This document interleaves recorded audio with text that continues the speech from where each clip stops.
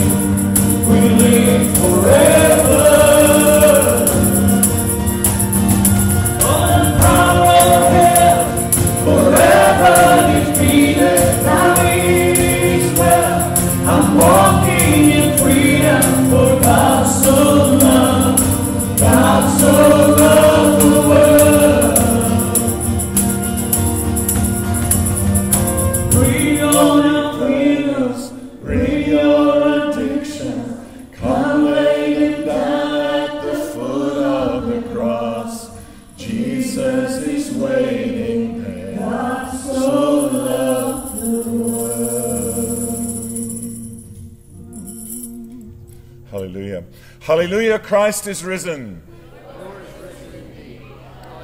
Uh, welcome, friends. It's lovely to have you worshiping with us this morning. Today is two important days for us. One is that um, there's, a, there's um, a secular calendar and a church calendar.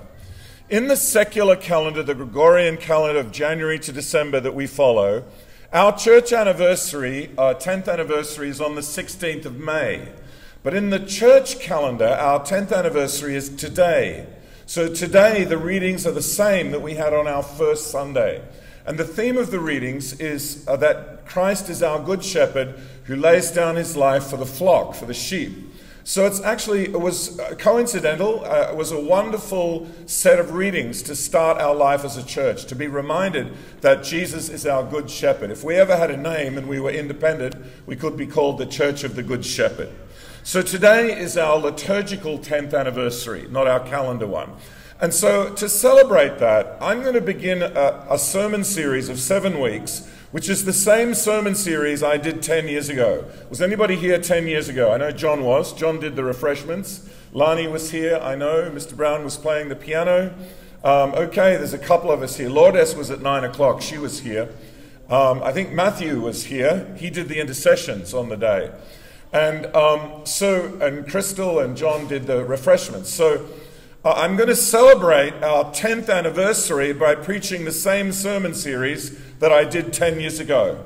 And it's on the Psalm 23, which is our set psalm for today. We're going to be doing it for seven weeks. It's going to be interrupted for two weeks by um, our anniversary and by Pentecost. So that's it. Now, the second thing is that today is an important day for Australians and New Zealanders. Is anyone else here from Australia or New Zealand, or just me? Any other Aussies or Kiwis? Hey, welcome. We give a big welcome? Whoops. A big welcome for the, uh, for the Aussies and Kiwis. And today is what we call Anzac Day, which is our Remembrance Day. It's a day when we remember our fathers and grandfathers and mothers and grandmothers who went uh, and who fought in the great wars so that we may have freedom from Nazism and from tyranny and, uh, and indeed all those who fought in, in wars since, that, that we may be free from dictatorship, tyranny, and oppression. So for Australians and Kiwis, this is an important day.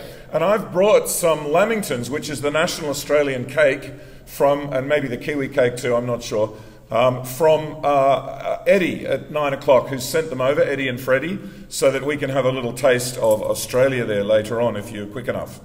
So in Australia, we have a greeting. Uh, when we greet one another and say good morning, we say, What do you know? So you, you got to say it as one word. G'day, what do you know? Okay, the, you got to put the g'day in. So, g'day, what do you know? Now, usually the answer would be something about the weather. It's like, yeah, it's hot. Or, yeah, it's humid. Or, yeah, what about that Prime Minister? You know, what a so and so he is. Or something like that. So, I want you to use this for the welcome this morning. Today is Australia's Anzac Day, New Zealand's Anzac Day. So we're going to greet one another. We're going to say, G'day, what do you know? And you have to answer something. So you have to say something you know. So, like you could say, G'day, what do you know? Oh, can't say that in church. he said something you can't say in church. Okay, don't say anything rude. Don't be like Uncle John. Don't say anything rude. Let, let me try again. How, about this way? You know what you know? It's pretty cloudy today. That's a good Australian male conversation.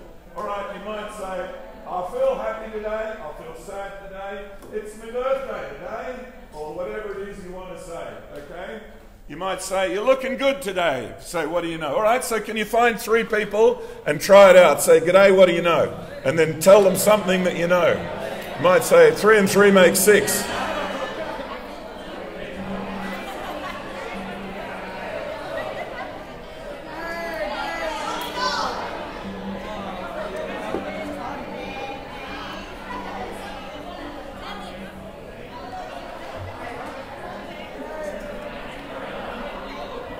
I think the Portuguese are having a holiday today too, so you can say bom dia if you prefer.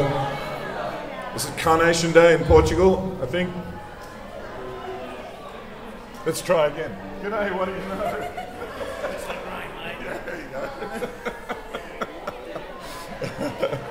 Feels like it's humid in here, man. Is the aircon on? Thank you. Thank you, gentlemen. All right. Okay, having established uh, our presence, let's uh, pray our prayer for pure hearts as we come to worship the Lord. Boys and girls, shh, Janice, girls, boys, join with me as we say this prayer. We're going to invite the Holy Spirit into our hearts that we can offer a worthy sacrifice of praise and thanks to God. And I, I think uh, Auntie Selena is going to help us in the actions for, for One Way. Can you, can you come out and help us, uh, Auntie Selena, for the actions? And who's helping Auntie Selena? Is anyone helping with the actions for One Way? Come on, guys, all the kids come out. You guys all know. All you Team Jesus. Let's hear it for Team Jesus. Yes. Okay. But you need to stand in front of the microphone so the, the camera there so they can see. Come on, Team Jesus. Come and help. Yeah, come on, Amelia. You can do it. All right. Come on, Nathaniel. No guts, no glory, brother. This is Anzac Day. You need courage. All right. Let's pray together, boys and girls, and mums and dads. We say together, Almighty God, to whom all hearts are open, all desires are known, and from whom no secrets are hidden, cleanse the thoughts of our hearts by the inspiration of your Holy Spirit, that we may perfectly love you and worthily magnify your holy name through Christ our Lord. Amen. Let's praise the Lord one way, Jesus.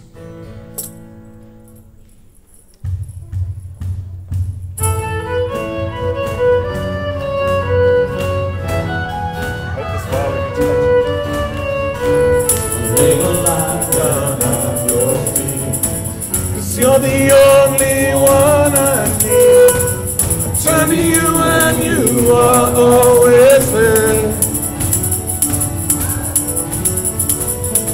Troubled times, it's you I see.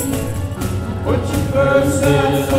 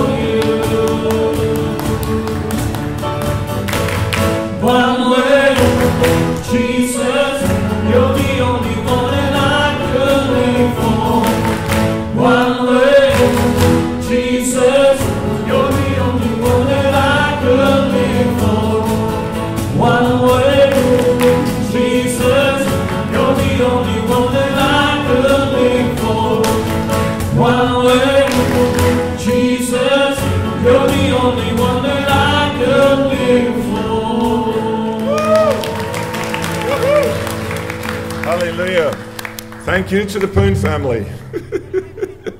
well done, guys.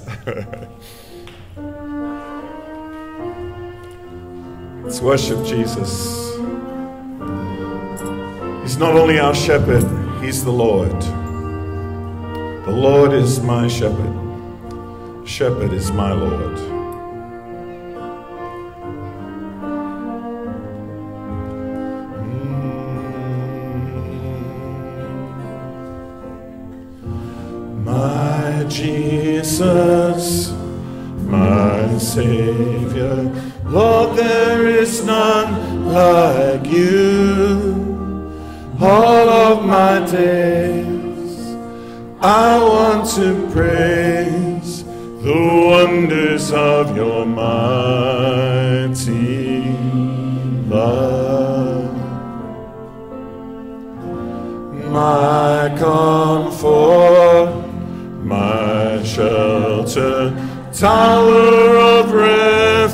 And strength. Let every breath, all that I am, never cease to worship. Shout to the Lord. Shout to the Lord, all the earth, let us sing. Power and majesty, praise to the King. Mountains bow down and the seas will roar at the sound of your name. I sing for joy at the work of your hands. Forever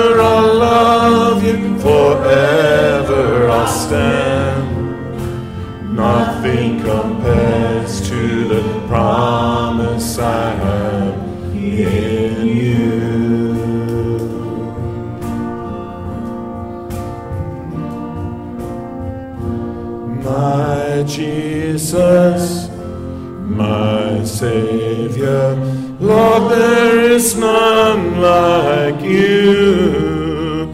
All of my days, I want to praise the wonders of your mighty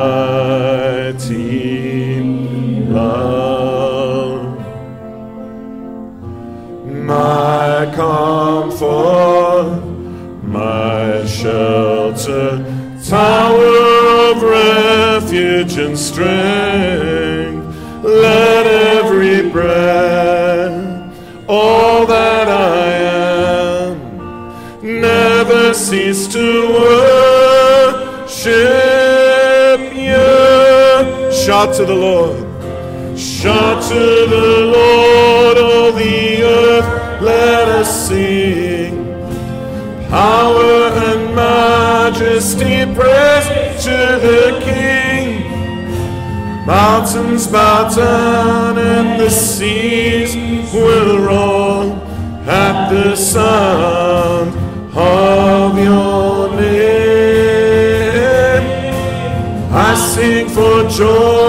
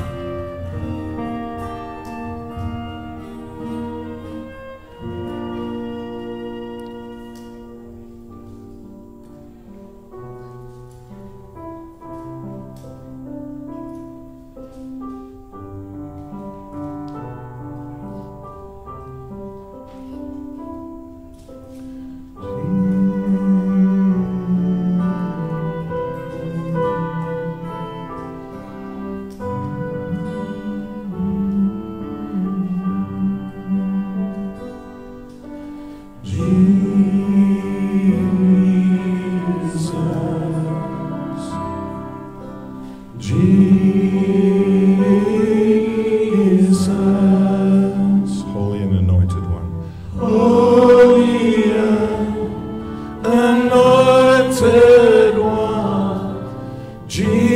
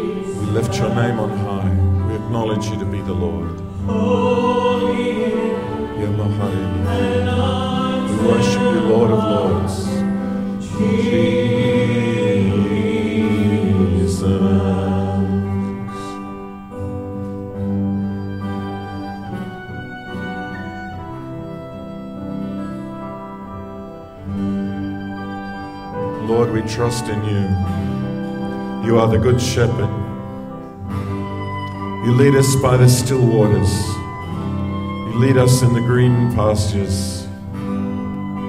You refresh our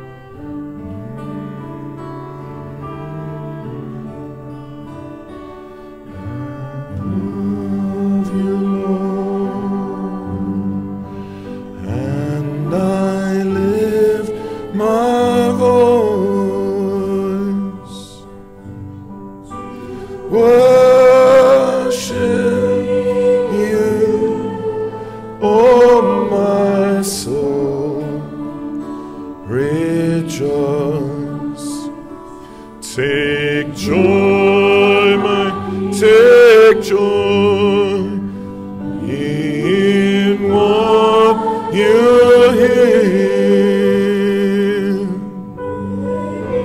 Sweet, sweet sound in your ear. We love you, Lord. Sing we. We love you, Lord.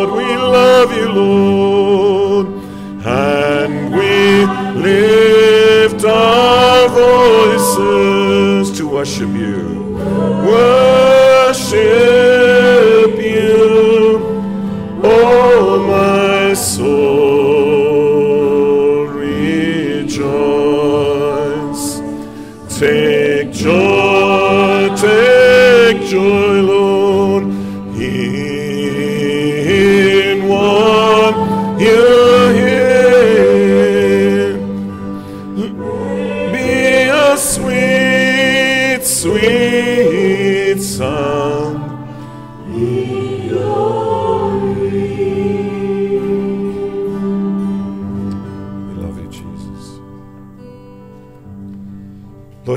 Jesus, we love you that you are our shepherd, that you protect us, you provide for us, you guide us, you correct us, you bring us safely home in the end.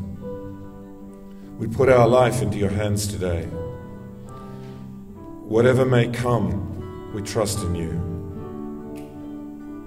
We love to hear your voice. We know your voice. We love to follow you.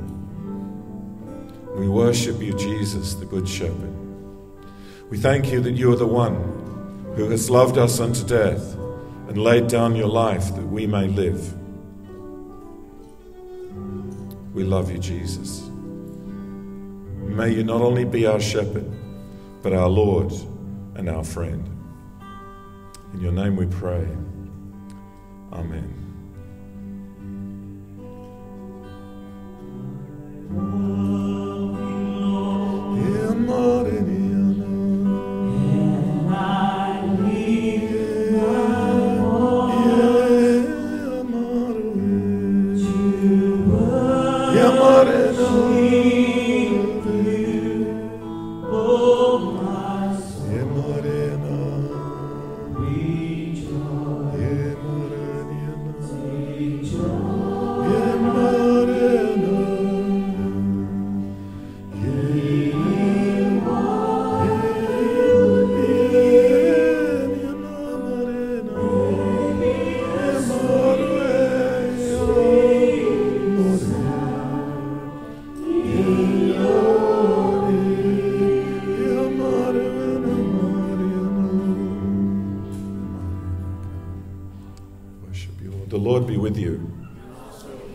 Let us pray our theme prayer for Easter 4 as we say together, O God, whose Son Jesus is the Good Shepherd of your people, grant that when we hear his voice, we may know him who calls us each by name and follow where he leads, who with you and the Holy Spirit lives and reigns, one God, forever and ever.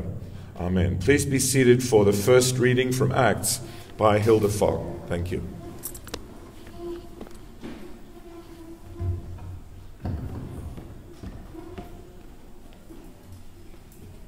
Morning. The first reading is taken by Acts chapter 4, verse 5 to 12. The rulers, elders, and scribes assemble in Jerusalem with Annas the high priest, Caiaphas, John, and Alexander, and all who were the high priestly family. When they had made the prisoners stand in the midst, they inquired, By what power or by what name did you do this? Then Peter, filled with the Holy Spirit, said to them, Rulers of the people and elders, if, if we were questioned by today because of the good deed done to someone who was sick and are asked how this man has been healed, let it be known to all of you and to all the people of Israel that this man is standing before you in good health by the name of Jesus Christ of Nazareth, whom you crucified, whom God raised from the dead. This Jesus is the stone that was rejected by you, the builders. It has become the cornerstone. There is salvation in no one else, for there is no other name under heaven given among mortals by which we must be saved. This is the word of the Lord.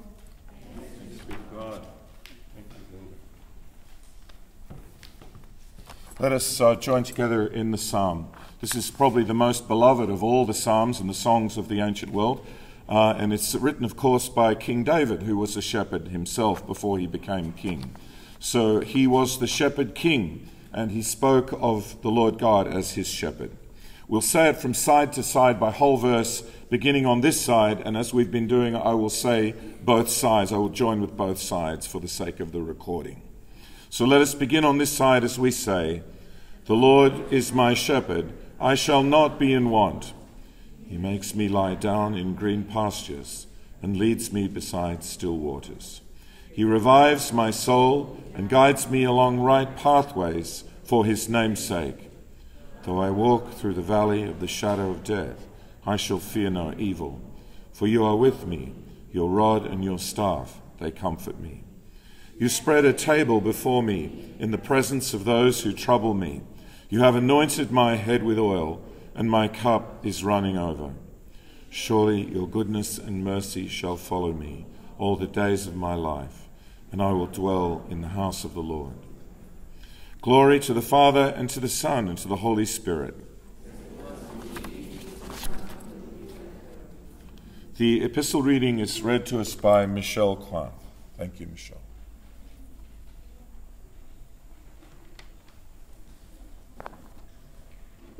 The epistle reading is from 1 John chapter 3 verses 16 to 24.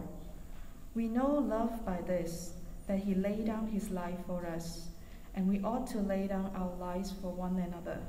How does God's love abide in anyone who has the world's goods and sees a brother or sister in need and yet refuses to help? Little children, let us love, not in word or speech, but in truth and action.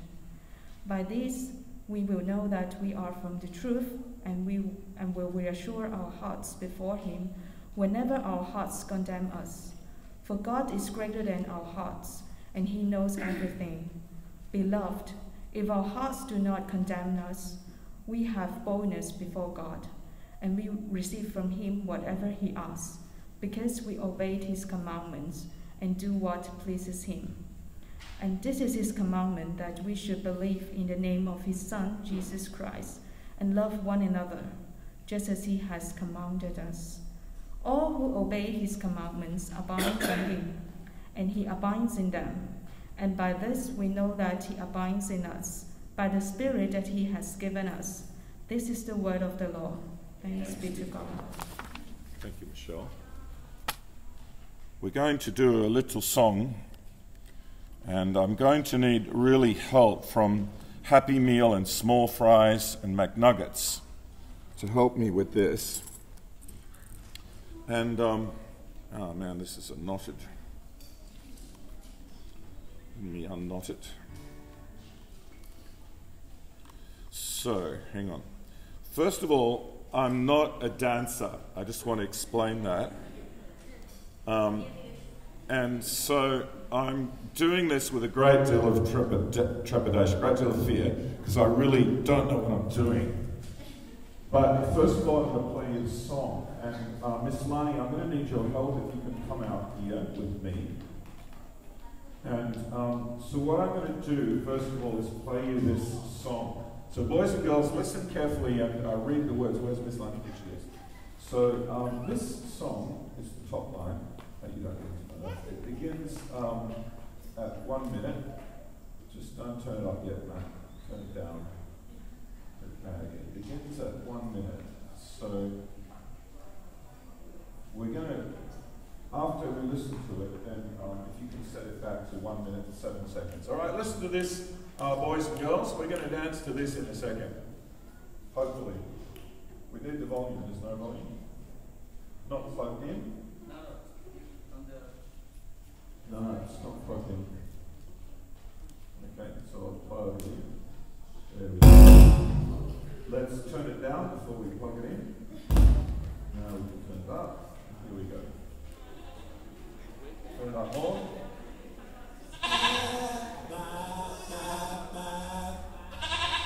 Ba ba ba ba ba ba ba ba ba ba ba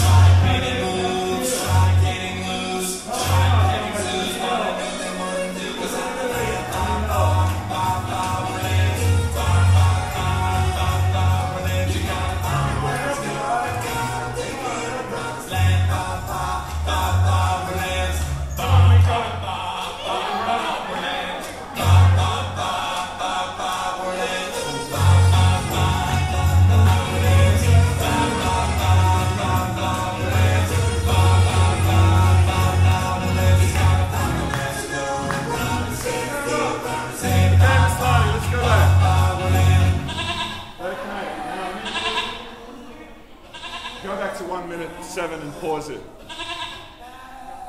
All right, now you need to put the hand on the hip, and we need a little. Um, you can't see my leg, but we need a little bit. Now, you know, I was born in 1960, so I should know how to do this, but I don't. Okay, so you need to kind of do a little bit like this with your, with your left leg. Can you do that? No, don't hold, man. Spread out a little bit. Go on, you get the, get the, you can't see. Okay. All right, here we go. So I can follow you there we go. Can you get the leg going? And then you do this. Okay? So you're going to do this, just hold the sprinkler. Can you do that? Let's do that. Two, three, four. Um, Can you do that? All right. And then after that, we're going to do this. Here you go. You've got to follow me. Can't just stand there. you've got to join in. Okay? Auntie Selena, come and help me. Come. I've got no idea what I'm doing, people. Okay. And then after we after we do this, um, we're, we're gonna we're gonna do sort of got to sort of twist and do this. Okay. There's twist and do this. Okay. And then later on we'll be doing some other stuff. So I, I really can't guarantee this, okay? But you got to try. Okay, here we here, hang on, hang on. I need some water. it's going to kill me. Okay, who wants to die for Jesus?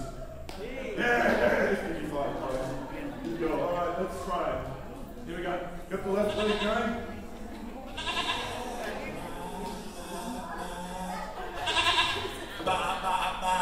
Here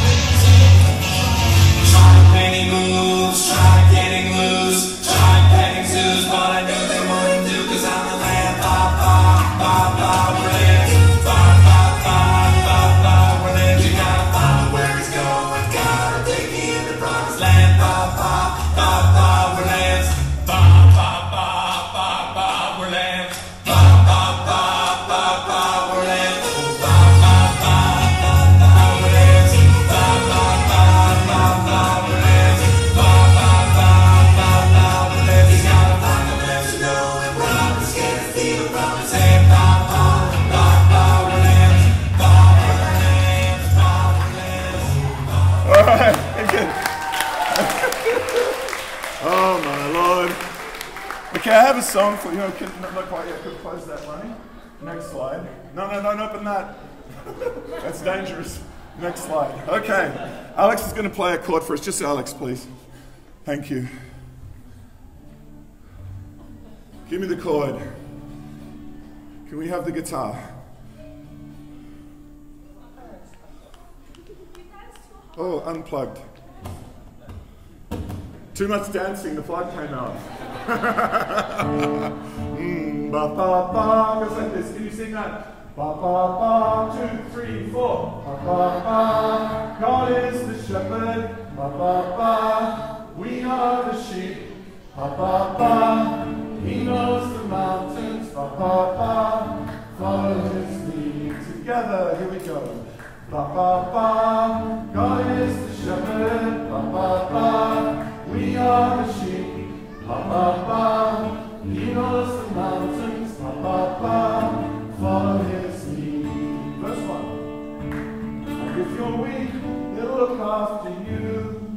And if you're hurt, you got the chords there. Yeah. Stand up, play the chords, brother. And put some spirit into it. And two, three, four. And if you're weak, he'll look after you. And if you're hurt, he'll bind up your wounds.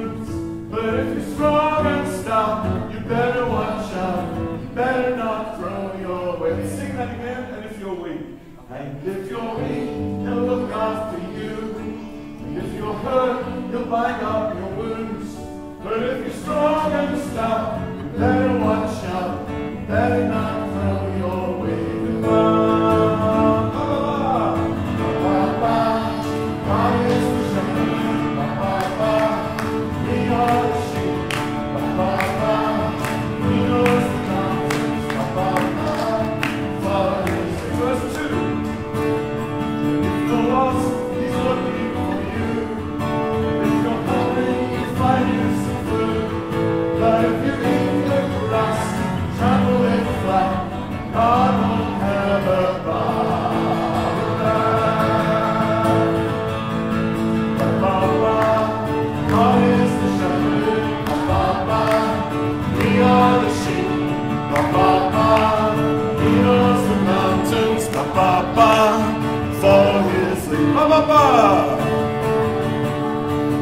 Ba ba God is the shepherd. Ba ba ba, we are the sheep. Ba ba ba, He knows the mountains. Ba ba ba, follow His lead. Getting quieter. Follow His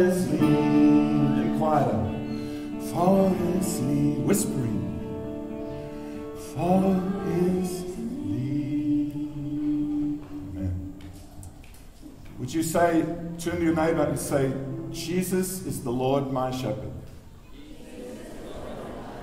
Let's sing Hallelujah.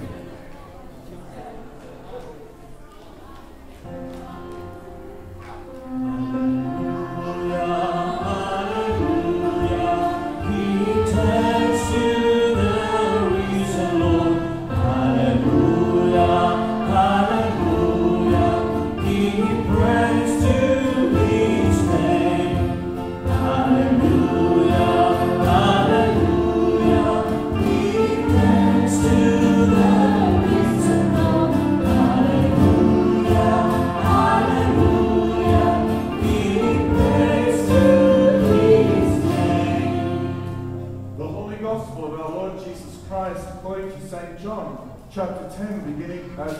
11.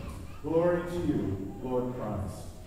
Now Jesus said, I am the good shepherd. The good shepherd lays down his life for the sheep. The hired hand, who is not the shepherd and does not own the sheep, sees the wolf coming and leaves the sheep and runs away, and the wolf snatches them and scatters them.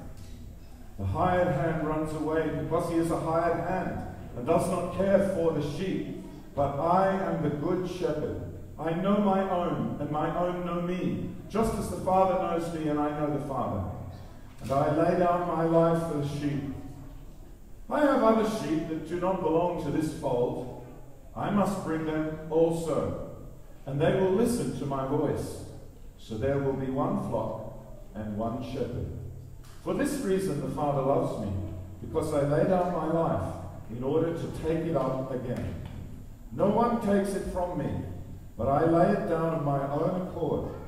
I have the power to lay it down, and I have the power to take it up again. I have received this command from my Father. This is the gospel of the Lord.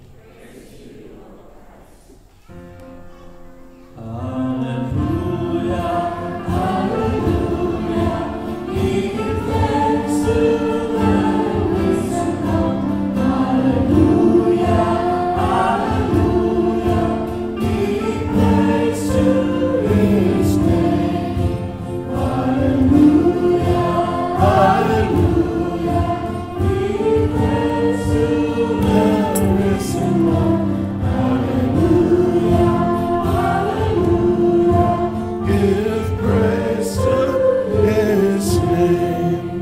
Please be seated for the announcements.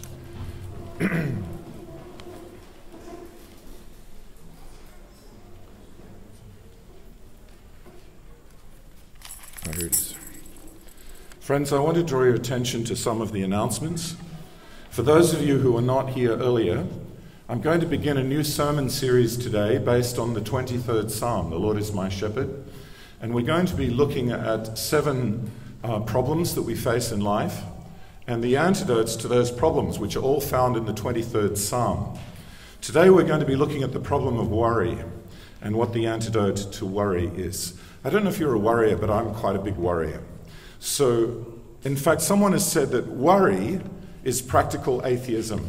When we worry about things instead of trusting God, uh, we're not really living as a Christian. So, we're going to begin that series today, and there'll be a break for two weeks when we have our annual um, anniversary and when we have Pentecost, and then we'll come back and finish the series. I want to ask if anyone was here 10 years ago on the 15th of May in 2011, and we'd like to ask you to identify yourself. I know that Lani was here, I know that Matthew was here. Um, John was here because he was doing refreshments, Matthew was doing the intercessions. Was anyone else here? Um, 10 was actually in this hall. We had the first service in the hall, and then we shifted into the green room for some months until we grew big enough to return to the hall. So um, there is a few people still here that were here on that day, so we'd like to find out who they all are. So if you remember uh, being here, please, or you remember who else was here, I guess Johnny and Priscilla were here because they would have been with Dad. So I think Robert and Alexander, Robert Alexander and Crescendo and the boys were here because Luke was playing drums, I believe. So uh, let me know if you remember or you know anyone who is here. Uh, we'd like to know that before we have our anniversary dinner on the 16th and service on the 16th. I want to turn to page five and just highlight for you the men's dinner. Guys, I really need your support. I, I have to confess, I am at the point of giving up again. Uh, we have tried and tried to have men's meetings, and you don't come, and you don't come, and you don't come.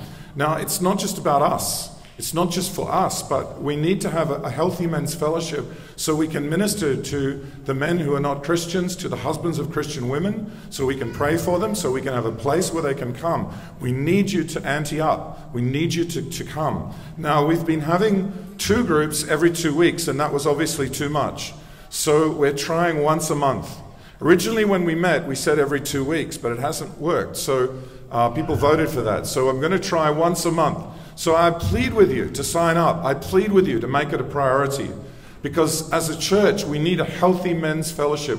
All over the world, in every religion, women are more spiritual than men.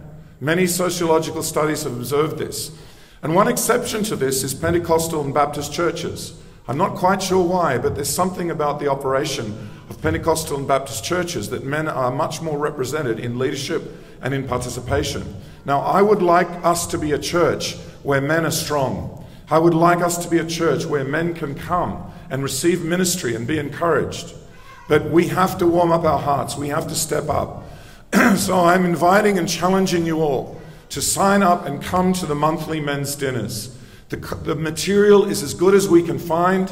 Um, we need to be able to reach out and have a place where non Christian men can come and have a meal and a beer and a chat other than church on Sunday. So please, please don't leave me hanging. Please support this. Uh, this is for all of us. We, we need this and we need it so we can minister. So there's an appeal from my heart. heart. and um, I also want to encourage any young adults to join us for the young adult group on Friday nights as we uh, get to chapter two of the case for faith and we look at the issues of the issue of miracles and science. Next Saturday morning, the Philippine Fellowship is having a hike. Everybody is welcome if you like to hike. Uh, Miss Anna can give you the details, but they're on page six in the bulletin. Now, the ladies are going to be doing community service. They're going to bring a garbage bag each, and they're going to pick up rubbish as they go. So it's a great thing to do as a family. Go for a hike and pick up rubbish along the way. And um, they're going to bring snacks and a, a, um, a, water bottle. So please see Miss Anna or any of the Filipino friends if you'd like to know more about that. And it's in the bulletin there uh, this morning. Also, very important, please be signing up for our anniversary lunch. Uh, the 16th of May is only three weeks away. And we need all of you to please sign up. Someone is paying half the price. You only have to pay half price or less. If you can't afford half price, just pay what you can afford. I've said it a thousand times. If you can afford more, give more. If you can afford 20 mop or 30 mop, pay whatever you can afford. And you can sign up at the welcome table uh, after the service today. So please give your name and number, the number of people in your family or your group, and, uh, and give whatever deposit, or you can pay on the day if you prefer to pay on the day. Don't forget that on the 16th of May, there's no service here at 11. The service will be 10.30 at Kam Lai Heen Restaurant at the Artyzen Grand Lapa Hotel on the 16th of May. All of this is in the bulletin. Sometimes people message me in the week and they say, when is it again? Friends, please take the bulletin home, keep it in your kitchen or your bathroom or wherever you sit and meditate, and uh, read it, pray for the church, um, and keep the bulletin with you maybe in your Bible during the week so you can read and meditate and know what's going on. The Bible reading WhatsApp group is starting the Gospel of John tomorrow. So if you want to join uh, the, a Bible reading group, they just do through WhatsApp fellowship and communication.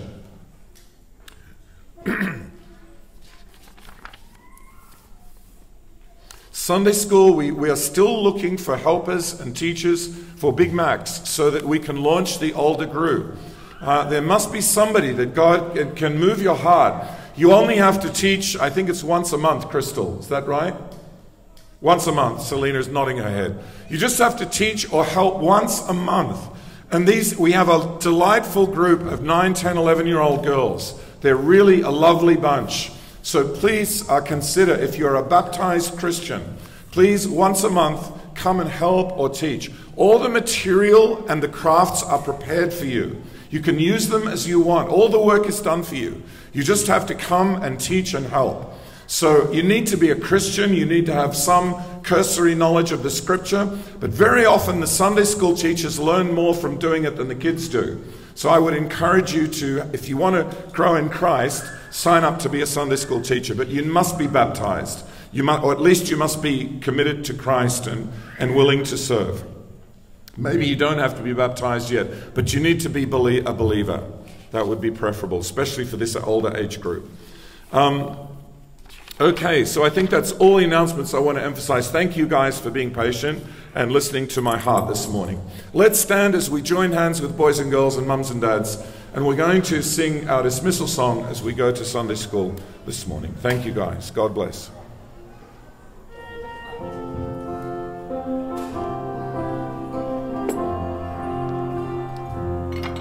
May God's blessings surround you each day. As you trust me in walking His way, may His presence be guard and keep you from sin. In peace, in joy,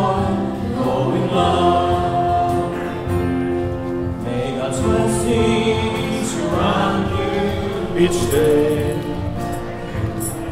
As you trust me in walking His way, His presence be guard and keep you from sin. Go in peace, go in joy, go in love.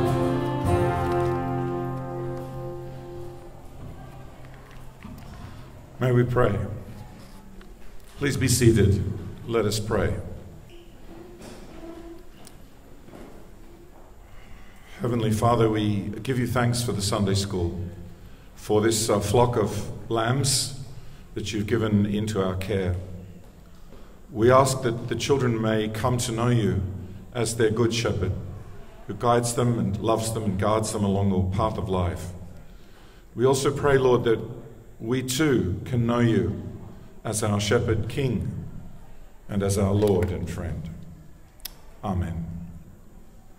Now, you need a pen to fill in the blanks in your bulletin. The outline is on page 13, um, and the sidesmen will bring you pens. Sidesmen have all disappeared. Okay. Thanks, John. Um, someone will bring you a pen. If you don't have one, can you wave a hand? The pens are going to be coming over in a moment. And um, you can fill in the blanks. And as I say, we're going to be doing a series. It's the same sermon series that I did 10 years ago. So this series is part of our celebration of our 10 years life as a church. And the first uh, of the issues that we're going to be looking at from the 23rd Psalm today is God's antidote to worry. You can see all the topics at the top of page 13, so you can see the topics that are going to come uh, in the weeks ahead and the, the, the, days when we have a gap. So have, have a look at those.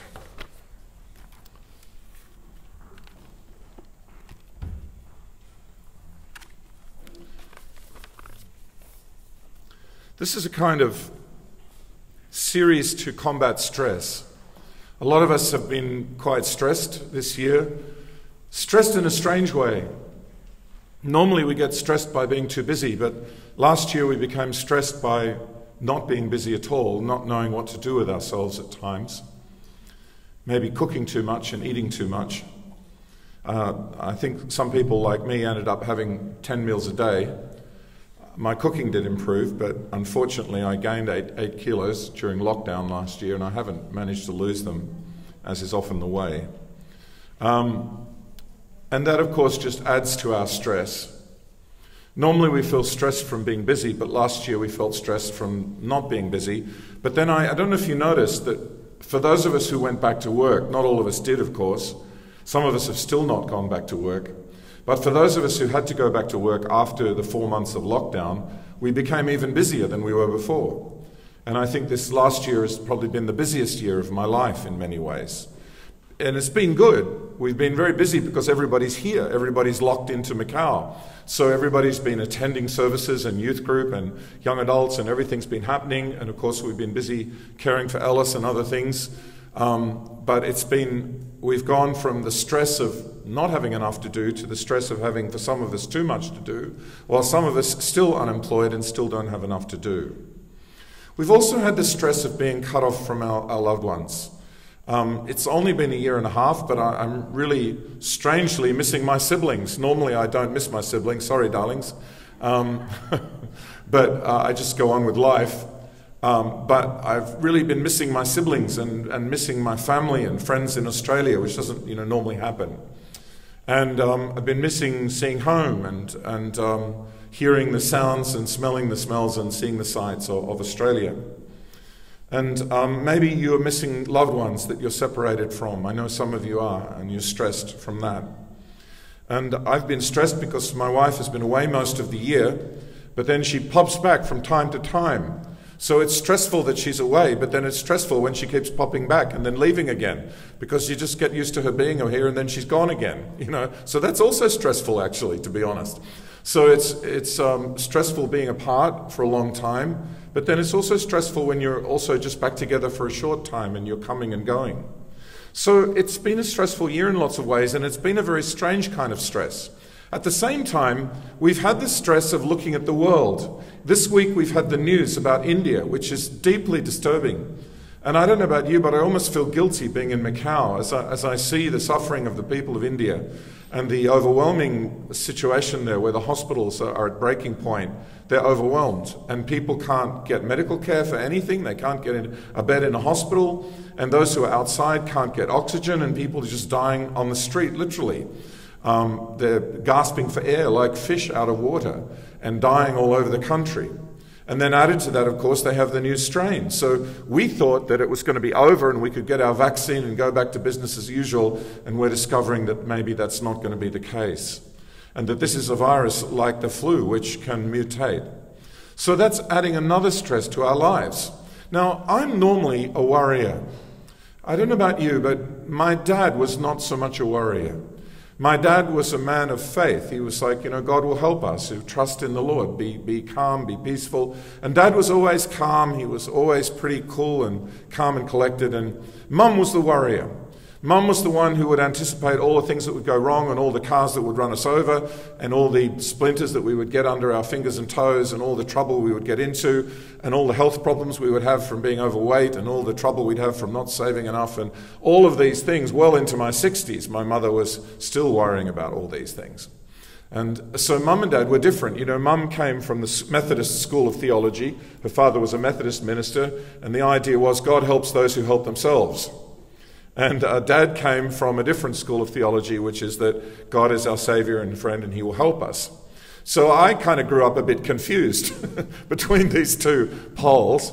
And I learned from my mother to be anxious. I, I learned to be concerned. I learned, so I constantly anticipate what will go wrong. I anticipate who might get hurt. When, I, when we have youth group, I cannot take my eyes off the children playing a game. I cannot. Now, that's a comforting thought for you as parents, but it's slightly stressful for me. And sometimes other kids come to me or leaders come to me in a game and they want to talk to me. And I'm like, I can't talk to you. Don't talk to me. You know, someone came and brought me a cup of water and I was like, don't talk to me because I was watching the game. I must keep my eyes on the game because I'm trying to anticipate that, that nothing can go wrong and that the kids won't get, get hurt. And it's, it's kind of deeply ingrained in me. So it's a little bit neurotic, you know. Dad used to say mum wasn't neurotic, but I'm not sure he was right. Um, it's a little bit over anxious um, to, to be that way. And um, whereas my wife is quite relaxed about things. So whenever I put something down, if I put a glass down or a bottle, I'm always thinking three steps ahead. Who's going to walk by here? Who's going to possibly knock this over? Is this in a dangerous position? You understand? I think mothers can understand, right? So I think I was born a mother. I learned it from my mother. Um, I'm like a mother, you know. I'm always, I'm always worried, and so I'm always trying to avoid what I call booby traps. Now, my wife is a layer of booby traps. She is relaxed about life and she's easygoing, so she'll finish the glass and the wine and just leave it there, and um, she'll just leave something here and leave something there. And, and normally it's me that walks into the booby trap because she knows she's left it there, you know. So I'll stub my toe or I'll knock the glass off the edge or I'll do something, and I'm like, oh, I'm booby trapped again, you know. But then sometimes she booby traps herself and she does something and she's forgotten she's left it there and she walks into it. And then I'm like, yes. see, you see? so, um, so we're like this. But actually, she is going to live longer and be more healthy and have a happier life than I am. Now, when I preach these sermons, sometimes people come afterwards and they think they need to fix me. Jamie, it's okay. You can relax, all right? You don't need to fix me, okay? I'm sharing with you guys openly about my weakness in the hope that you can learn from it and apply it in your life. So if you want to come to me and talk about it, come to me and talk to me about your, your anxiety, your worry, okay? I'm not talking to you so about this so you can come and fix me, okay? And fix my diet and fix my this and fix my that because then you're just putting yourself in my mother's role and making me more worried, all right? So don't fix me, okay? But um, I am a worrier. And I don't know, is anyone else here a worrier? Am I the only one?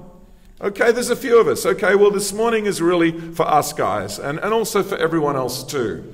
Because worry is really practical atheism. When we are anxious about everything, of course, you need to be a bit worried. If you have little children, you need to be careful not to leave, you know, hand grenades lying around or whatever it is. But um, you need to keep an eye on them, obviously. But we can be so anxious about everything all the time that we communicate anxiety to our children, and we can, they can grow up like me, you know, scarred for life. Sorry. I'm just joking, sort of. now, when we look at the 23rd Psalm, it's, um, we're going to look at seven sources of stress, and they're all found in Psalm 23, and the antidotes are also found in Psalm 23. And this psalm is really a picture of what God is like. It's a picture of the character of God based on the idea of a shepherd. So, my goal for these six weeks is that when we get through the series, you'll know what God is like, and you'll know how much God really loves you and really cares for you, how much you matter to the Lord, and the more you understand Him, I hope the more you will trust God. So I'm, as always, really preaching to myself today. The first cause of stress that we're going to look at today is worry, as I've said. And we all have these pet worries. Who worries about finances? Anyone here worry about future finance? Come on, be honest, okay? Be honest, okay. That's quite a lot of us. Who uh, worries about their job, job security, future of their job? What will they be doing? Okay, that's another, many of us the same people. Who worries about relationships, marriage, or family? Siblings, parents, relationships, marriage. There's a whole lot of you guys over there that need help, okay? Just saying, okay? Um, help is here, help is on the way. Um, who worries about their health, that their health is not what it should be and is declining? Okay, so we, we really need a help group for this, this corner of the congregation over here. Okay, so I want to suggest to you in the blanks that we're filling in this morning there um, three problems with worry, three reasons why worry is a useless exercise. The first one is that worry is unhelpful. It's unhelpful meaning it, it simply doesn't solve anything, it doesn't change anything. If we are simply worrying and not taking any action, not doing anything about it, we're just stewing without doing anything, then it's like racing your car engine. You produce a lot of smoke and noise, but you don't go anywhere. Worry never solved anything for anyone. Of course, we need to plan and we need to be wise, but worry can't change the past and it can't change the future. It can't control our lives. Um, sorry, it can't control or change the future. It, it can control our lives in a negative way, but it just makes us miserable today. So, number one, it's unhelpful. In other words, it doesn't work. Number two, it's unreasonable. Very often, worry exaggerates the problems. It makes mountains out of molehills and it makes problems seem bigger and bigger. One of the things that I worry about a lot is church council meetings. I'm not sure if that's because of past experience. Um, in fact, almost always, they're much better than I think they're going to be. But whenever I'm going to church council meetings, I'm like a racing truck car driver going into a race. All day, my heart is racing. This last church council meeting we had, the whole day, my heart was severely stressed. I mean, really to the point of I nearly cancelled the meeting because I, I just felt so unhealthy. I, I needed to lie down. Um, but invariably, when I have the meeting, it's fine and it's constructive and it goes well. Sometimes I stress, for example, about youth group. I don't know why, but there's something about, I think because it's quite long and it's a lot of effort, and at the end I still have to do the PowerPoint and the sermon because I'm a procrastinator. So uh, I generally kind of feel stressed. But I love youth group. So I go into youth group kind of full of adrenaline, really, and feeling stressed. But as soon as I get there, I love it. I love doing it. I love the kids. I have the best fun. But I, for some reason, I stress about it. And I don't know why. It's just, it's not rational because it's always a joy. I know why. I think it's because I get very tired. But um, it's always a joy. Now, please don't be thinking how you can fix Stephen, right? That's not the point, all right? The point is, I'm giving you an example so you can think about your own life. And where is it that you are anxious? What do you worry about which is unreasonable? Are you worried about something unreasonably? It never solves any, uh, it, it, it exaggerates the problem. It makes a mountain out of a molehill. Uh, it makes problems seem bigger and bigger when they're really not that bad. My wife kept saying to me before the church council meeting, they're a great bunch of people. They're all your friends. They're all supportive. They all love you. And it's like, it didn't make any difference. I knew that in my head, but my body was stressing. Maybe, I don't know, past experience. I don't know why. So we stress, and, and I think actually we have to get that under control. We have to get our heart. Now, maybe we need to pray, and I'm going to come to the solutions later on. Um, but we do need to um, realize that it's unhelpful and it's, it's irrational, it's unreasonable. The third thing is, of course, that it's extremely unhealthy, and I've already pointed to that. Our body is not made to worry. Um, it produces all sorts of uh, adrenaline and hormones which are damaging uh, to our body. We get ulcers, we get backaches and headaches, and we can't sleep uh, well. Uh, our bodies are not made to worry. Plants don't worry. Plants are always very happy, generally. As long as they have water and sunlight, plants are happy. But we um, are capable of anxiety, and it makes us unhappy and unhealthy.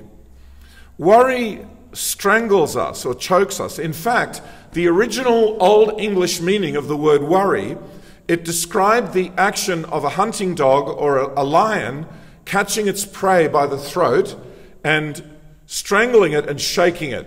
You know, if a, if a cheetah catches an antelope by the throat and it shakes it, or if a lion catches um, um, a, a, a, a, calf by its throat and it shakes it and strangles it, it tries to break its neck and choke it, that is the original meaning of the word to worry. So a, dog which is chasing its prey down a, down a, burrow uh, is said to be worrying the animal. If it grabs the animal and shakes it, that's a worrying. So when you worry about things, it's like you're choking yourself and you're strangling yourself and you're shaking yourself like this. So it's just, it's really leads to death. It's a kind of way of killing something, strangling it to death uh, by choking its neck. We were not born worrying, we have to learn to worry. And I, I learned it. I learned it well from my mom. Um, I wanted to be a good boy, you know, so I learned to be concerned and to be safe and to look out. And so, consequently, whenever I travel anywhere in the world, I'm always worried. I'm worried about who might rob me, and I'm worried about whether we'll get mugged, and I'm worried about whether it's safe here, and do we know where we're going, and how do we get back to the hotel. My wife doesn't worry about anything. You know, she worked for Cathay Pacific. She just goes anywhere. She does what she wants. She doesn't worry about anything. She just gets on with life and she has a great time. Now, has she ever been robbed or mugged? Yes. One time we were in the supermarket and, and someone grabbed her, her bag from the trolley and ran out the door. And I was like, see, you booby trap yourself, right?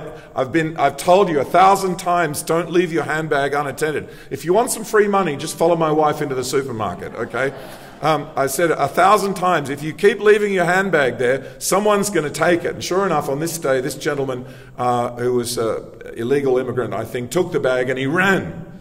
Do you know what happened? One of our church council members, actually, uh, some of you know young Peacock, who was our church worker, her husband Matthew was outside in the corridor, coincidentally, as the thief ran out of the shop, tearing along, holding a woman's handbag. Matt, being the smart man that he was, looked up, saw Crystal streaking out after this guy, no chance of catching him. He was a young, agile man, off he was going. So Matt leapt on him and tackled him in the mall and sat on him until the police came. Poor guy. And so the Lord, you know, the Lord sent a savior. The Lord, the Lord sent a hero in the form of, of, of Young's husband, Matt, who came along and she got her handbag back and she got her wallet back and then she refused to press charges against the guy. She didn't want to, she was crying. She felt so sorry for him. She wanted to give him money. She didn't want to press charges against him. Bless her heart. The police had a different perspective, but you know, they took him away. But um, anyway, so you know, God helps. You know, God helps uh, people like this. It seems, and um, so I I need to learn not to worry so much because it really destroys your joy in life. And some of you need to learn to worry. You have to make a decision to let go of your worry. You have to decide to let it go. Now, what is the antidote to worry? So there are there's some There's um, three points that I've got here. The first one is that you need to really believe that God will take care of you. Believe that God will take care of me. So the word for that is trust. You need to really trust God. Now, does that mean you won't get sick and die? No, it doesn't mean that. Does it mean you'll live forever? No, it doesn't mean that. One day we will all get sick and die. The odds are that we'll get heart disease, most of us. Some of us may get cancer. But one way or another, we're all going to die.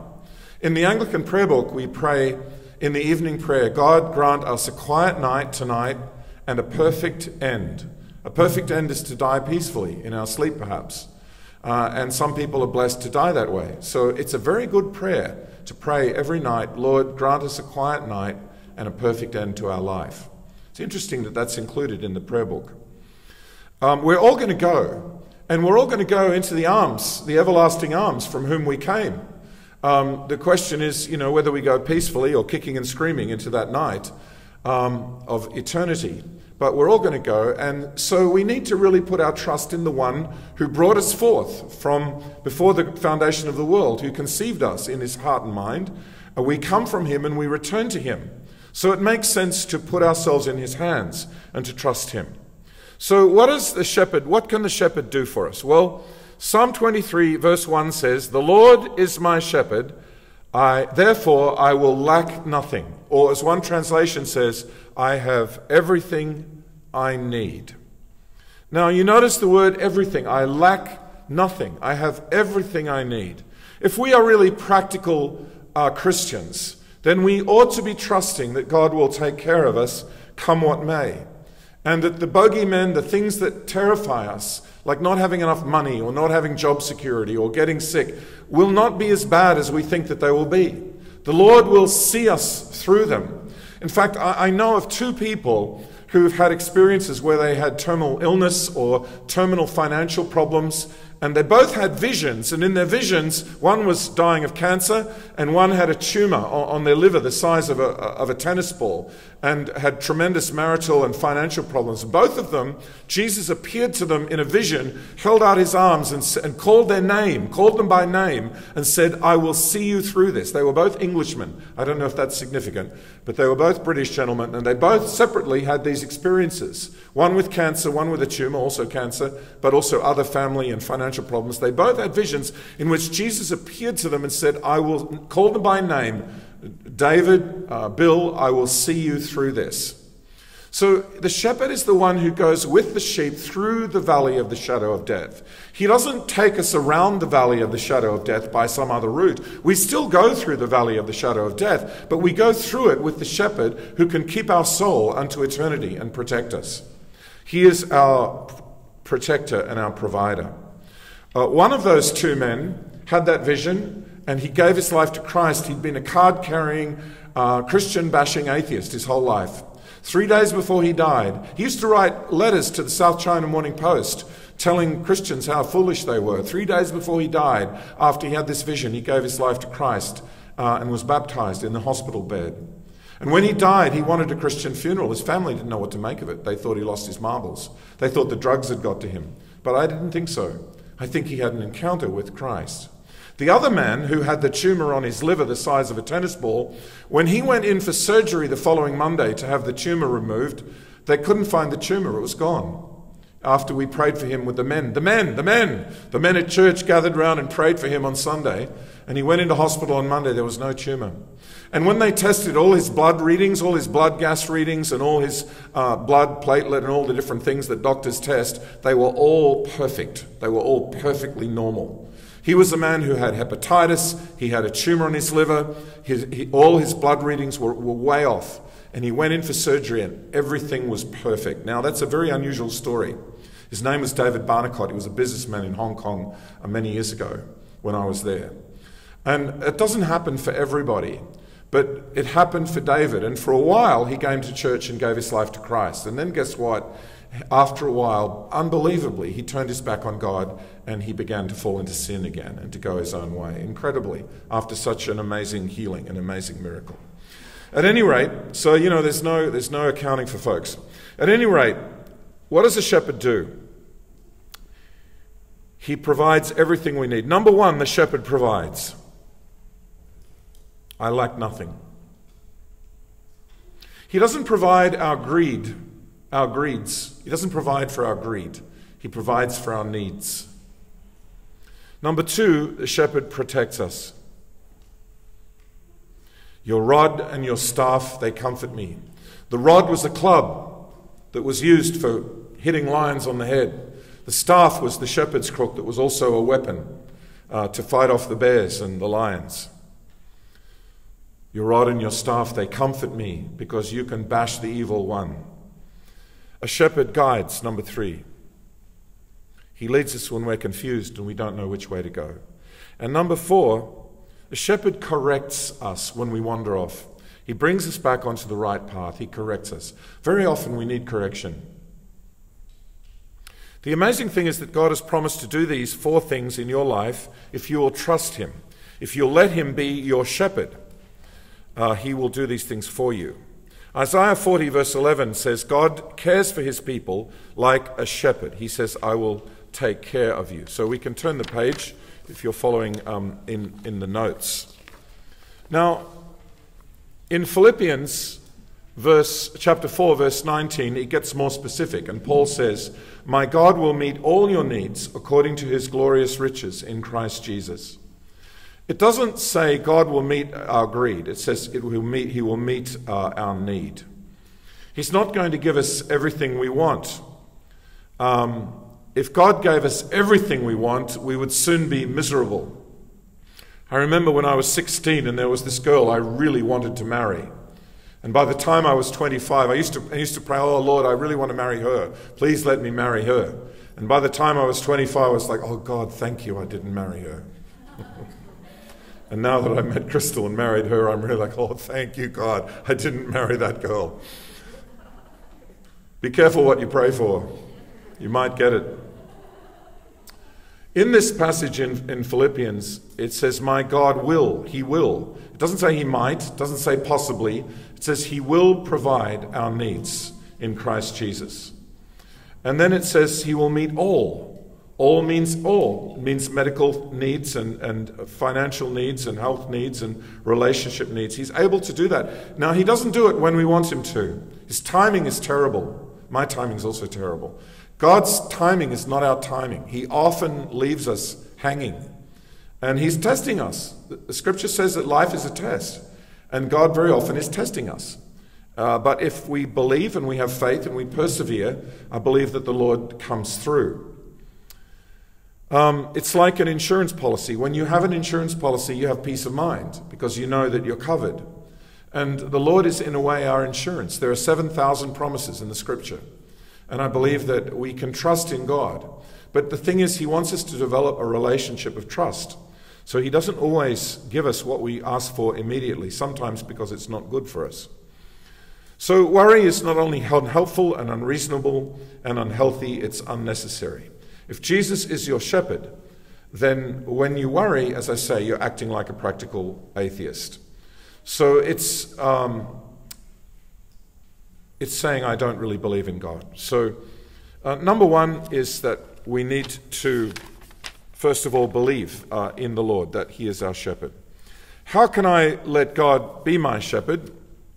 Well, the first thing that we need to do is we need to accept Jesus as our Lord. And so it's a bit of a catch 22. We want Him to be our shepherd, but we don't want Him to be Lord.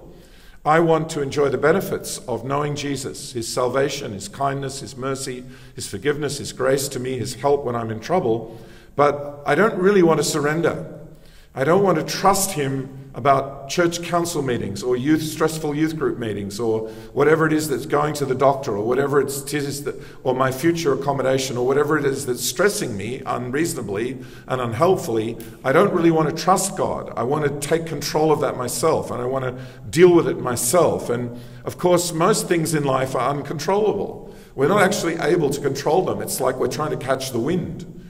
And so um, all we can do really is surrender to God and accept Jesus as Lord. You want him to be the shepherd, then you have to accept him as Lord. If he's not, if he's not Lord, he can't be shepherd. It says, The Lord is my shepherd. If he's not your Lord, he's not your shepherd. And there's a whole lot of people out in the community who go to funerals and they say, The Lord is my shepherd, I shall not want. And I just want to say, baloney. The Lord is not your shepherd because he's not your Lord. If he's not your Lord, he's not going to be your shepherd in eternity. You're going to get a surprise because you never owned him as Lord. You want him as your shepherd. You want the benefits of being in his family, but you don't want him to be your Lord. So, number one, you need to allow him and you need to place him as first in your life. And you see, this is a subtle thing. It's like me. In every situation in life, I need to learn to trust him. Maybe the Lord gave me a wonderful wife like Crystal who sets booby traps so I can learn to. Please don't go to her after church. And she's not here. Shh, okay. Oh, she is here. Oh, I'm in trouble. Okay. I'm in trouble. Sorry, darling. Sorry, darling. Um, maybe God gave me such a wonderful wife so, so, that, so that I can learn that I need, I need to trust Him. Uh, and I need to be less anxious about all sorts of things in my life. And I know she's learned, I worry all the time, and she said, Yes, dear, yes, dear, yes, dear. She's learned, she's so patient. She doesn't judge me, she doesn't criticize me. I, again and again, I fail to trust. And again and again, I notice that she doesn't judge me and doesn't criticize me and doesn't point out what I'm doing wrong. And I think, wow, you know, that's really patient, that's really loving. And, um, you know, I wish you can all uh, be like that with your family, and I wish you can all have family members who are like that with you, that they can be patient with your sins and failures. So, what does it mean to be Lord? Well, it means He's in control. It means He's the master, He's the boss, He's the general manager, He's the CEO. Um, if Jesus is, is Lord in your life, then He calls the shots. Then you refer to Him. Then, if the Lord says to go to church, you go to church. You, you don't say, oh, well, I, I don't feel like waking up. Or you don't say, I'd rather go to this party. Or if the Lord says to help someone, you help someone. You know, if the Lord calls me to do this, I do it. If the Lord calls me to give this, I give it. It's, I don't have a choice. I belong to Him. My life belongs to Him. Everything I am, everything I have belongs to Him.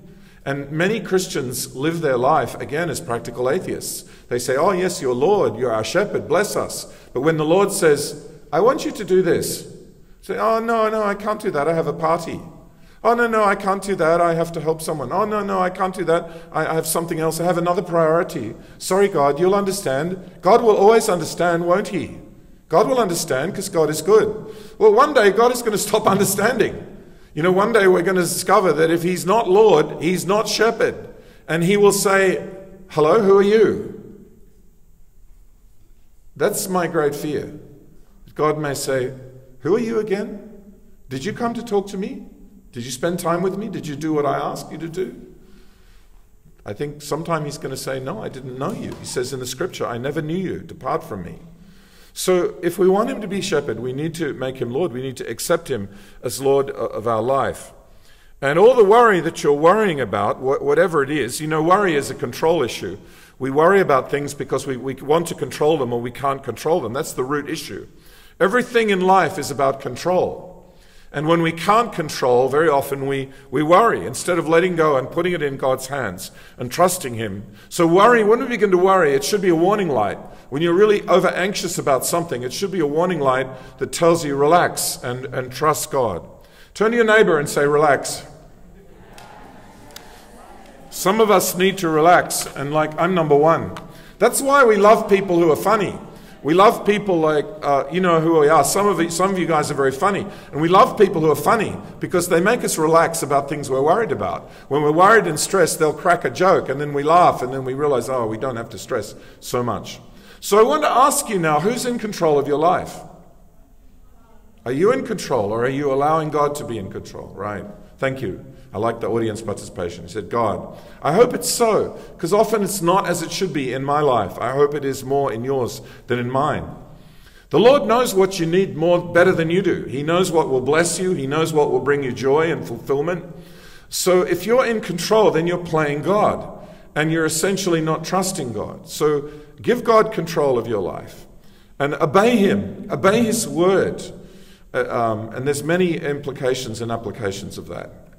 Number two, begin praying about everything. Don't worry about anything, says Philippians. Instead, pray about everything. Tell God your needs. Of course, you know, this is, uh, you're Christians, we know this. We need to pray about everything. But so often, our first go to response is not to pray.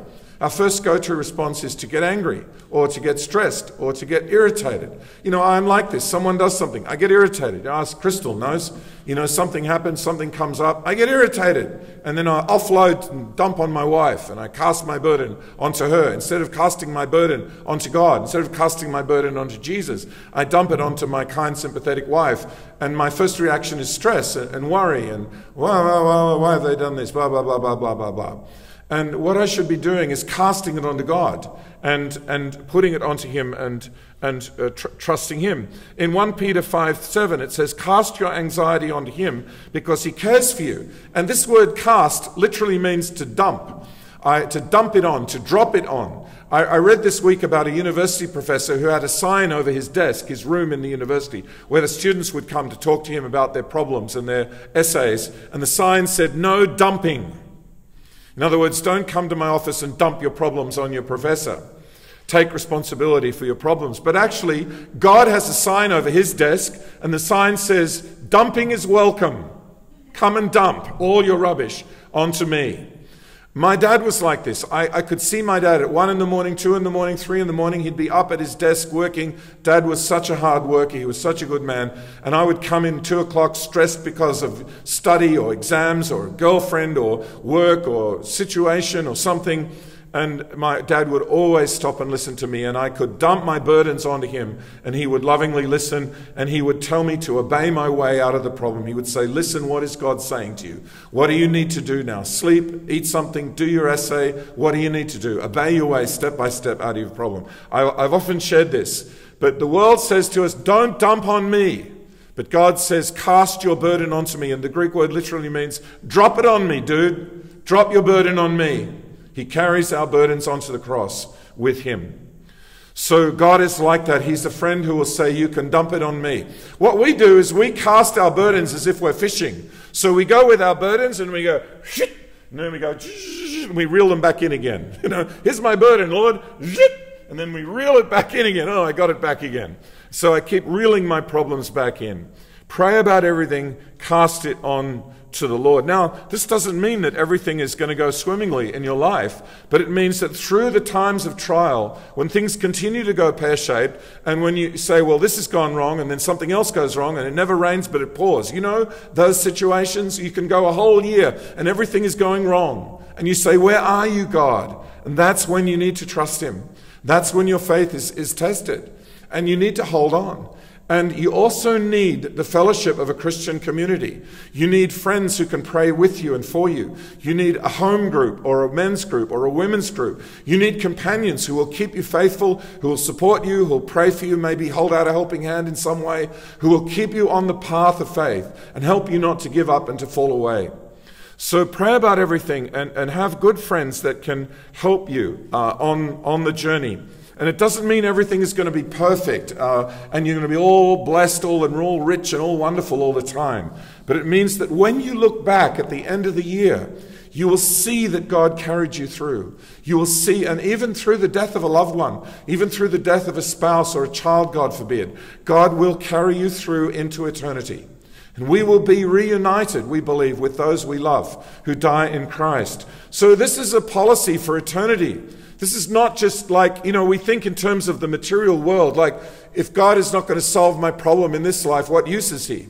What God does is He solves our material problems to point us to the eternal realities. He helps us with our couch and with our finance and with our car and with our parking places and with all the trivial things of life because He wants us to see beyond that. He wants us to see that He's able to help us into eternity. He's able to give us an eternal place, an eternal uh, home in heaven, and an eternal community, and an eternal destiny. So, all these answers to prayer about trivial things that we think are so important, like our health, which is really not that important in the long run to God, because we're all going to die anyway. But the things that we think are important, and God helps us with them, it's to point us to the fact that He's able to heal our soul. He's able to give us eternal life. He's able to forgive our sin. That's the ultimate reality. and the ultimate salvation that He's pointing us to. And all of these things are like guiding stars. All these answers to prayer, these little encouragements, these little provisions along the way, these little miracles and things that we encounter in the life with God point us to the ultimate fact that He is our eternal Savior. He is the eternal rock on which we stand, on which we live for eternity. Number three, and number four, sorry, and the last uh, point today is that we need to we need to consider one day at a time. We need to accept the Lord as our Lord. We need to begin to pray about everything, and we need to consider or take one day at a time. The scripture says, Don't be anxious about tomorrow. God will take care of tomorrow, but live for today at this time. Give us today our daily bread, Jesus taught us to pray. Or actually, it's literally, give us today the bread for tomorrow. Give us today the bread for tomorrow, one day at a time. Your Heavenly Father knows perfectly well what you need. He will give these things to you if you give Him first place in your life and live as he wants you to live, says the Living Bible. Well, it's a paraphrase, but we can take it and, and use it. So um, I want to just encourage you this morning to re- renew your commitment to Christ as Lord and to ask Him to go with you into the future and to encourage you and myself most of all to try, even at an old age, to begin to learn to trust God more deeply in the daily things of life, in the meetings and the business and dealing with family and friends and church members. When your reaction is to be angry, when your reaction is to be afraid, when your action, reaction is to be stressed, stop and let it go. Put it into the hands of God. There's a story from the 19th century about an American evangelist called Wilbur Chapman and he was called, incredibly, to cheer up a 10 year old boy who was dying of cancer. What a terrible job. To be a pastor, to go into the bedroom of a 10 year old boy dying of cancer. And he went to the home of the little boy, and the little boy was very worried because he knew he was going to die. And the evangelist Chapman said to him, I want to teach you something. Let me hold your hand. The Bible says, The Lord is my shepherd. So every time you begin to be worried about what's going to happen, or worried about dying or what that will be like, I want you to think the Lord is my shepherd. The Lord is my shepherd. I shall not be afraid. The Lord is my shepherd. And he said to the boy, I want you to hold on to your index finger. Can everyone hold on to your index finger? He said to the boy, I want you to hold, hold it.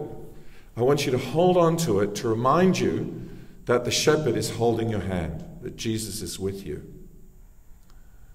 And that night he died in his sleep, and his mother found him in the morning, and he was holding his finger, holding on to the hand of Jesus. And you know, life is like that. We're all going to come to that point. So maybe one day you'll be in bed dying. And I want you to remember that you can hold on to the hand of Jesus. When my mum was dying, she had a little wooden cross. It was designed for holding. It didn't have jagged edges. It was one of those crosses which has got smooth, rounded edges. And she was holding onto the cross, holding onto the cross. And she was at this stage actually um, six weeks from dying, but she felt like she was dying now. And I said, Mum, why are you holding onto this cross? Why are you holding onto the cross? And she said, I'm holding on to Jesus. I'm holding on to Jesus. My mother was not a super spiritual woman. She wasn't like, Hallelujah, praise the Lord, Jesus is the answer. She had a deep, a private, prayerful faith. But in the end, she was holding on to Jesus. And it wasn't easy, but she was holding on to Jesus. So I don't know what you're worried about or stressed about today, but I do know this that God loves you. He cares about your stress, and He, as the Jesus said in, in the vision to both those Englishmen, He will see you through this. The Lord is my shepherd, I shall not be in want. Emphasize the different words. The Lord. He is the Lord, is my shepherd. The Lord is my shepherd. He guides for me, provides for me, corrects me, helps me. The Lord is my shepherd. I will not be in lack. I will not be in want. May we pray.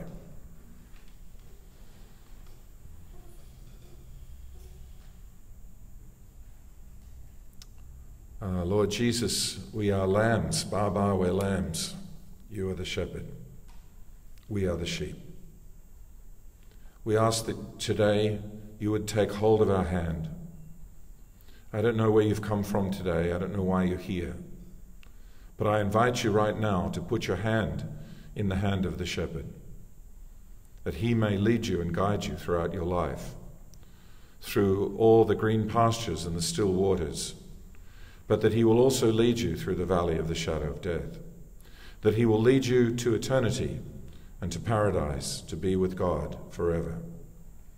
Take hold of the hand of the Good Shepherd. He knows your name. Lord Jesus, we thank you that you call us by name. We want to listen to you. We want to follow you. Help us to trust you. Amen. Would you turn to your neighbor and say, Let it go?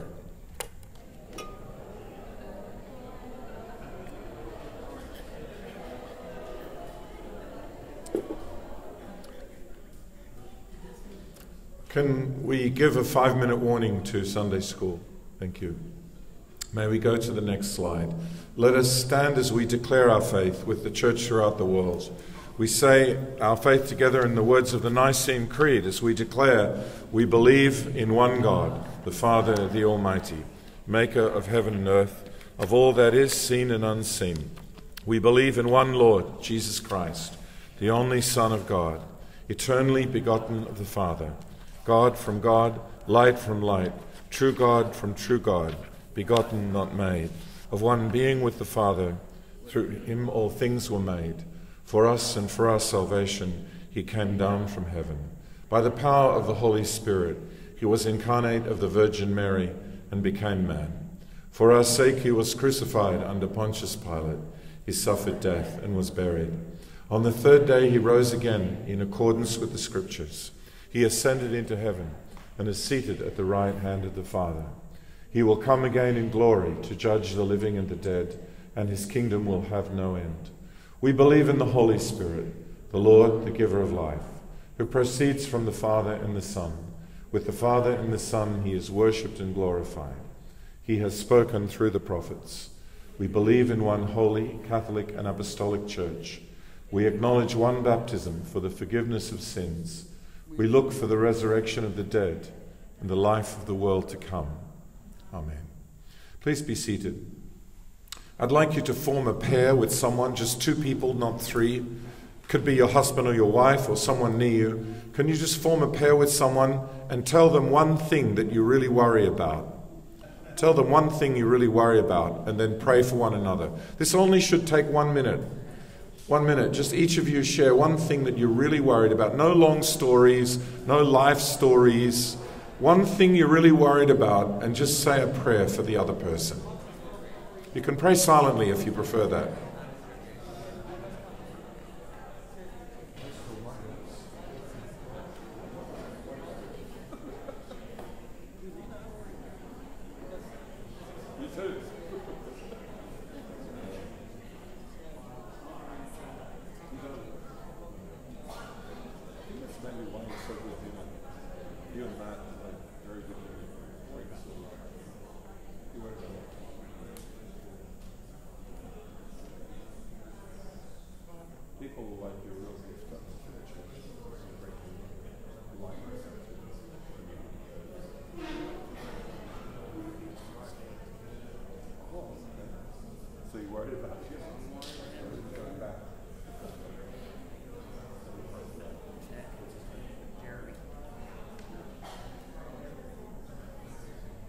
pray for Priscilla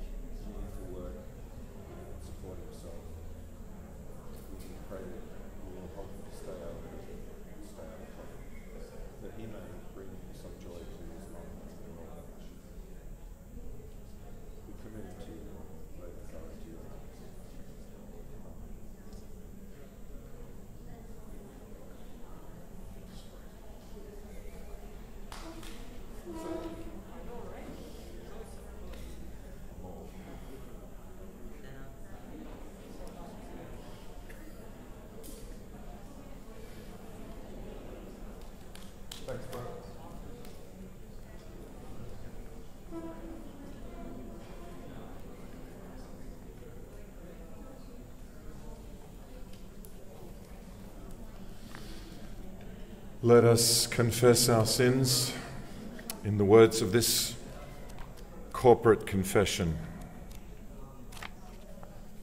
We pray together, most merciful God. We confess that we have sinned against you in thought, word, and deed, by what we have done, by what we have left undone, and by all our worries. We have not loved you with our whole heart. We have not loved our neighbours as ourselves. We are truly sorry, and we humbly repent. For the sake of your Son, Jesus Christ, have mercy on us. Forgive what we have been, amend what we are, and direct what we shall be, that we may delight in your will and walk in your ways to the glory of your name. Hear these words of absolution. May Almighty God have mercy on you. Try again. May Almighty God have mercy on you, forgive you all your sin through our Lord Jesus Christ, strengthen you in all goodness, and by the power of the Holy Spirit, keep you in eternal life. Amen. Amen. Let us stand. We're going to sing, Lord, give us peace. It's a little song we sing in our congregation here. Lord, give us peace when there is war. Love when we don't understand and hope at the end of a bitter day.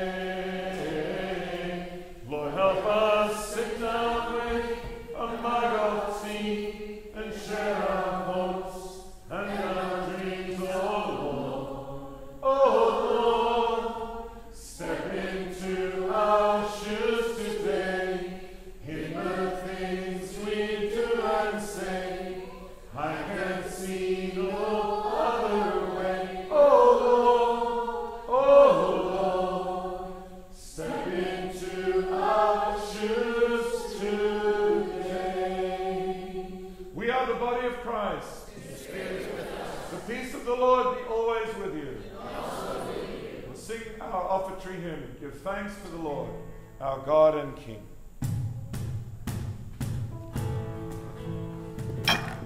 Oh, sorry. Let us greet one another with the peace. I'm getting old. Let us greet one another with the peace of Christ. It's the dancing that did it. Killed some brain cells. Lord have mercy. Someone give the man a hug.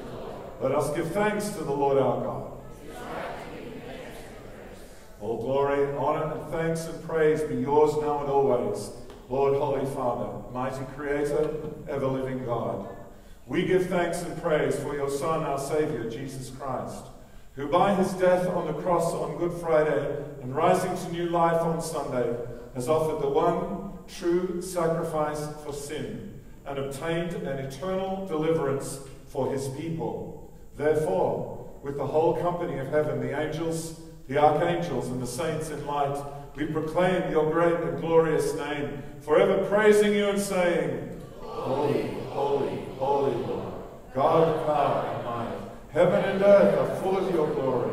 Hosanna in the highest. And now, Father, we pray that we who receive these, your gifts of bread and wine, according to our Saviour's word, may be partakers of his body and his blood.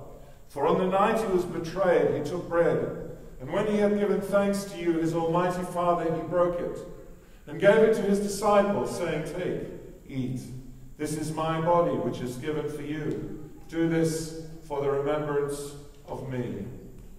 And likewise, after supper, he took the cup of wine, and again giving you thanks, he gave it to his disciples, saying, Drink from this, all of you. This is my blood of the new covenant, which is shed for you and for many for the remission of sins. Do this as often as you drink it in remembrance of me. Therefore, we declare the gospel acclamation, saying, Christ has died, Christ is risen, Christ will come again. Sanctify these gifts by your Holy Spirit to be for your people the body and blood of your Son. We offer our prayer and praise, Father, in the fellowship of the Holy Spirit through Jesus Christ our Lord. Blessing and honor and glory and power are yours forever and ever. Amen. And as our Savior Christ taught his disciples, we are confident to join hands with Mum and Dad and pray together, Our Father in heaven, hallowed be your name. Your kingdom come, your will be done on earth as in heaven. Give us today our daily bread. Forgive us our sins, as we forgive those who sin against us. Lead us not into temptation, but deliver us from evil. For the kingdom, the power, and the glory are yours, now and forever. Amen. We break this bread to share in the body of Christ. Though we are many, we are one body, because we all share in one bread. We do not presume to come to this your table, merciful Lord, trusting in our own righteousness, but in your manifold great mercies. We are not worthy so much as to gather at the crumbs of your table. But you are the same Lord, whose nature is always to have mercy. Grant us, therefore, gracious Lord, so to eat the flesh of your dear Son, Jesus Christ, and to drink his blood, that we may evermore dwell in him and he in us. Amen. These are the gifts of God for the people of God, his body broken and his blood shed. Take them in remembrance that Christ died for you, and let us feed on him in our hearts by faith with thanksgiving. This is an invitation, and we do invite you, if you have been baptized and you believe in Christ in any Christian denomination, you are welcome, or Catholic or Orthodox, you are welcome to join with us at the Lord's table today. We would ask that if you're receiving communion, you hold out your hands like this with palm up. Uh, and if you're not receiving, if you're not baptized, cross your hand on your chest so I know that you or your children would like a blessing. Thank you. Body of Christ, keep you in life. Body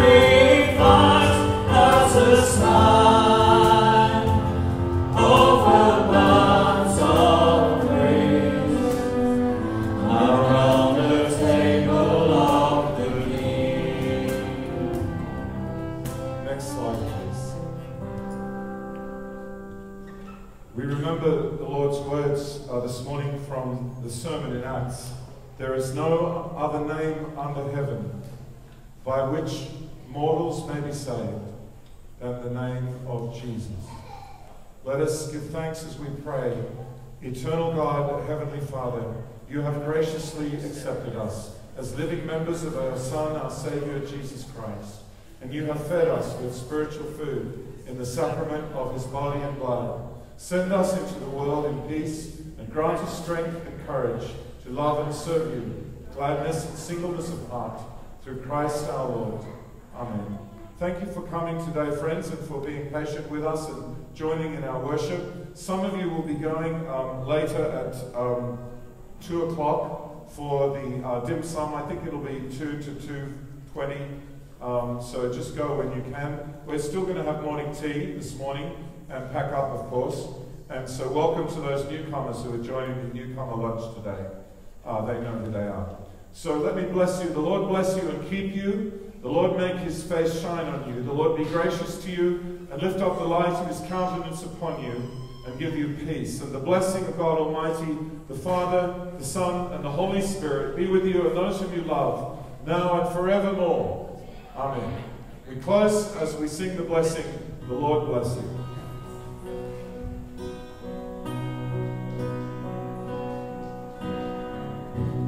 Lord bless you and